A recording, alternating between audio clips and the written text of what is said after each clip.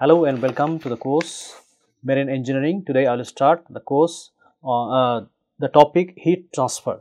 So, heat transfer phenomena is happening in many places in in and around your life and in your marine engineering system also. So, basic topic I will be selecting from KC Nag, uh, the Nag book, Basic and Applied Thermodynamics, not KC Nag, this is PK Nag and any standard textbook on heat transfer will be okay for this study because this is basic heat transfer thing I will be discussing. The heat transfer will be used for many places in your engineering system. For example, you have one heat exchanger in a boiler system, you have heat exchanger in your refrigeration system, you have heat exchanger in your uh, nuclear power plant system or gas turbine system. So, there will be several heat, ex heat exchanges or heat transfer area where you have to consider the material maybe maybe you have to resize the whole system or you have to uh, when you are designing a naval ship ship so that time you have to give certain space for placing your heat exchanger system. You may have to design for cooling water system or you have to heat room during winter season. So there are multiple uses of heat transfer theories in your marine engineering or marine or ship systems. So in this uh, week I will discuss about different modes of heat transfer, what are the how to calculate. If you have one pipe, you have any solid wall, how heat will be transferring from one point to another point, what is the temperature gradient, I will be discussing regarding uh, electrical analogy and I will be discussing about heat exchangers, heat exchangers are commonly used in your systems such as uh, refrigeration system, it is used in your bikes, it, it is used in your marine engineering systems and many uh, many applications are there. So, I will discuss around two and a half and three hours uh, this week uh, different mathematical calculation, different modes of heat transfer, different uh, mechanism of heat transfer. Okay. So, basic mechanism are conduction. So, conduction means like you have solid body and if you heat one end, heat will be transferred to other end okay if it is metal us say iron or copper or aluminum it will have very high heat conductivity. So because of heat high conductivity this one end if you heat slowly heat will be going to the other end. Okay this is going through a solid body and it's called heat conduction. Okay and heat is conducted because of molecular resonance. Whenever whenever you are heating a body molecule will be resonating at a higher rate. Okay that resonance will be transferred to another molecule, another molecule, another molecule. So, this way molecules will be transferring heat to other end of this metal object. Okay, this is the basic principle of conductive heat transfer.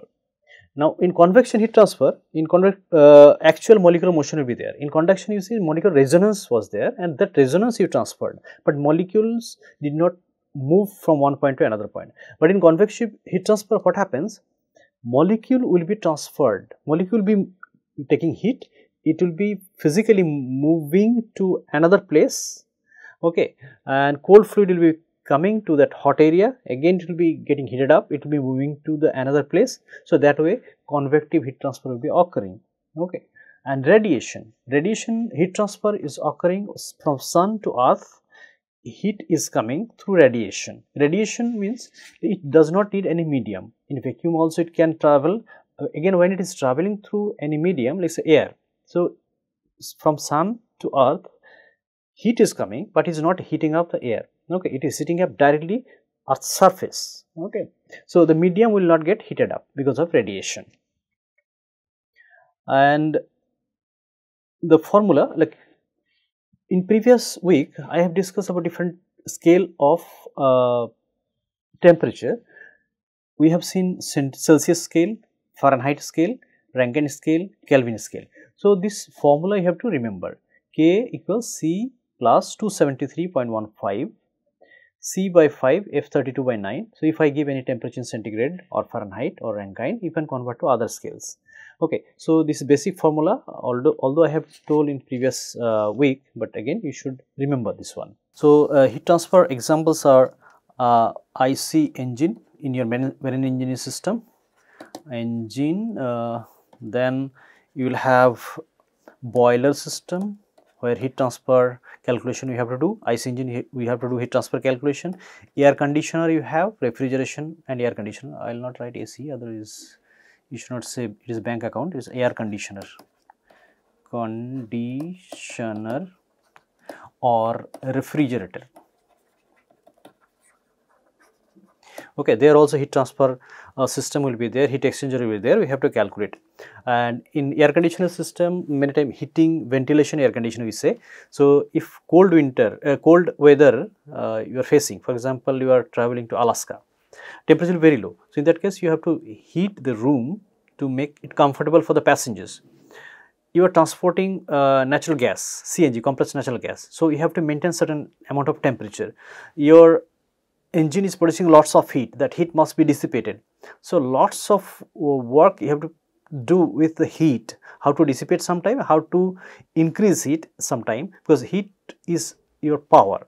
Okay. So, that power should be used properly. Misuse means that can be dangerous and if you are using properly that will give uh, enough efficiency in your system and low cost marine propulsion system you can design, you can generate or you have to design a compact marine uh, ship machinery systems.